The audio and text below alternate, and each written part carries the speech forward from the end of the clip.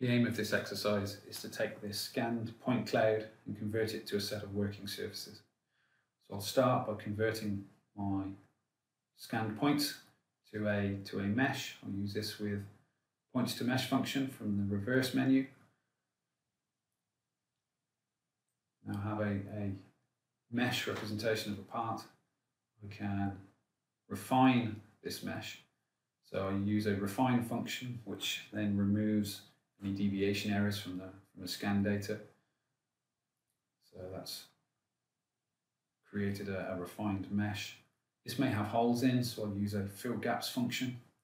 Just window select the geometry, deselect the areas I do not wish to, to fill in. You can see there's a few highlighted areas. Hit preview and you can see I've filled those gaps automatically. So accept that result.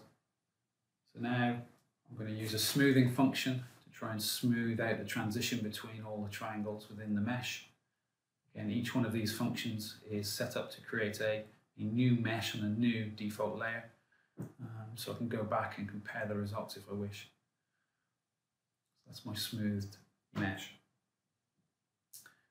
So now I've got a, a good quality mesh to start the creation of surfaces. I'll use a analysis function to just highlight the different areas of geometry, so the flatter areas where the radiuses are, drafted areas.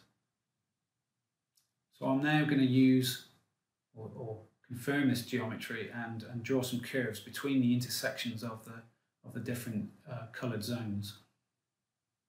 So I'll just accept that, which now creates these curves, but these curves have got some, they follow basically the boundary of the coloured uh, zones so I'm going to use a smooth curve function just to smooth out, to get a nice transition between the surfaces when I come to create the surfaces. And now if I use this project on mesh function to actually cut the mesh at the boundary of those curves that I've just simplified. You can see that it's imprinted into the, into the mesh and cut the mesh. If I continue this process and added some more additional geometry where I want the boundaries uh, of the surfaces to be made, if I now imprint all of these curves onto the mesh and basically it's still a single mesh but it's now segmented. You can see there I've got different boundaries.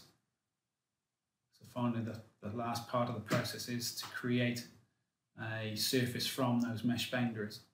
Again highlight the mesh and you can see it's an automated process. And this now gives us our final surface geometry